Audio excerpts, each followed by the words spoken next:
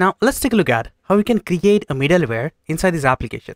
As you know, we already have the Redux store in this app. So using the Redux store, we can create our own middleware. When you click on this add employee, it's going to call the toggle change action. And I'm going to do the same when I click on this update button. But you can notice I need to click on this update button twice to get the result. Now I'm going to solve this problem. So just back to your application and inside the Redux store here, inside this folder, I'm going to create a new file. Name this file listener.js. That's upon you, you can specify any name to this file.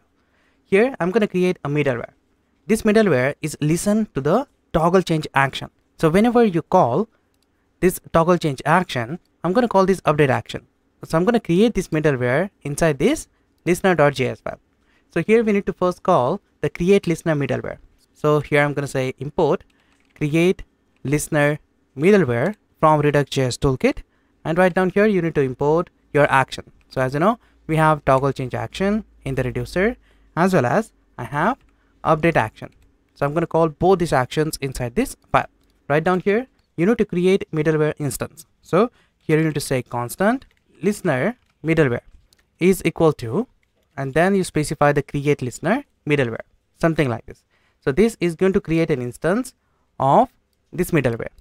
Just out of that right down here you need to call this listener middleware instance and then call the start listening function or you can say method. Inside this method you pass an object and listen to the specific action. So we are listening to the toggle change action. So we specify here action creator, a property and then specify the toggle change action to it. So whenever we call this toggle change action, I want to execute the callback function or you can say I want to execute an effect. So we pass that effect as a second parameter right here. So we pass here effect, then specify function to it. And the function is going to be asynchronous. So we pass async function, something like this. And to this function, you can access two properties, action and listener API. Using this action parameter, you can get the payload. And using this listener API, you can dispatch an event. So inside this function, I'm going to say listener API dot dispatch. I'm going to call a dispatch function from this listener API and then specify the update action here. And as you know to this update action, we have a payload. So we can access the payload using action.payload. That's it. A very simple middleware is now ready. Let me just export this. So we need to say here export default listener middleware. Save this file back to the store and here you need to configure this middleware. So at the top you have to say import listener middleware from the listener file. And just out of this reducer here you call a comma and then specify middleware. And to this property you specify a function. And inside this function you can get the default middleware.